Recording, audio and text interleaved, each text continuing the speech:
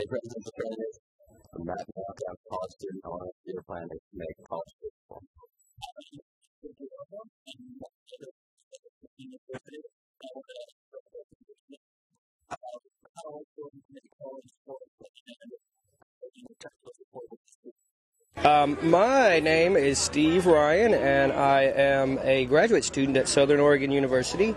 And I want to ask you, what is your plan to get military recruiting out of public education?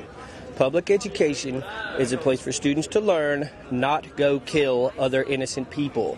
So please tell me, what is your plan to stop taking students out of higher ed and high school and putting them in foreign adventures abroad so we can get cheap oil? Thank you. Hello, presidential candidates. My name is Hesed Brand of Israel. I'm a student at Southern Oregon University.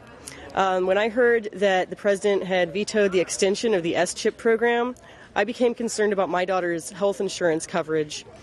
Um, my question for you is what are you going to do to ensure that children from low income households have adequate access to medical insurance at a relatively affordable price?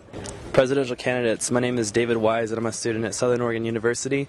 I want to know what you're going to do about world hunger and United States hunger, about teen homelessness and homelessness of single mothers, parents, uh, veterans, what plans you have to put into action to bring more affordable housing to people in different parts of the nation that are displaced from natural disasters and people who have no place to turn because of financial hardship.